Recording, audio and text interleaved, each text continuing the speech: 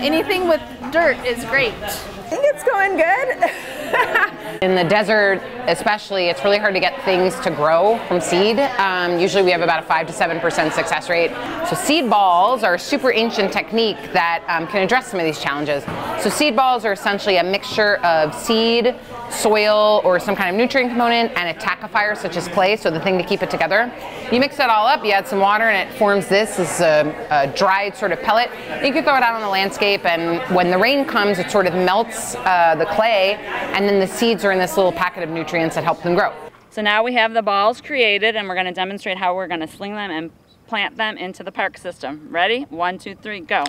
So now we can go out anytime we want and plant these seeds. So we're going to do it, you know, ideally during monsoon season. So know that by doing this, I'm doing a part of helping with the erosion and helping the good plants be be strong enough to build and help save the land so it can last longer so people can enjoy it and keep enjoying it.